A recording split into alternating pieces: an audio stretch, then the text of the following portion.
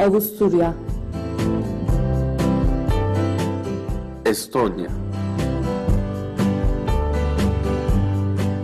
Finlandiya, Fransa,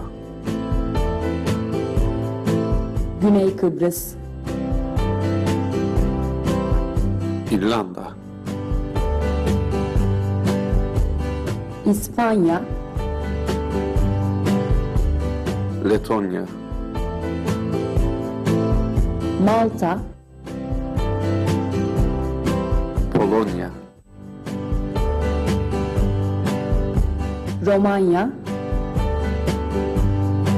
Slovenya, Lüksemburg,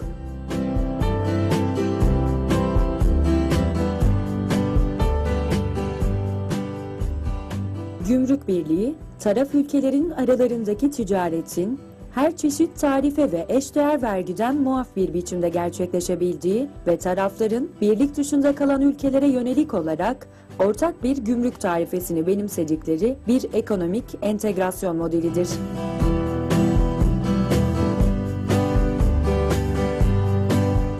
Avrupa'nın bütünleşmesi yolunda hedef olarak topluluk içindeki üretim unsurlarının serbest dolaşım hakkına kavuşması öngörülerek 1957 yılında Roma Anlaşması imzalanmıştır. 1995 yılında geçiş döneminin tamamlanmasından sonra Gümrük Birliği kararı kabul edilerek Türkiye ve Avrupa Birliği ülkeleri arasında işlenmiş tarım ürünleri ve sanayi mallarına uygulanan gümrük vergileri kaldırıldı. Karar 1 Ocak 1996'da yürürlüğe girdi.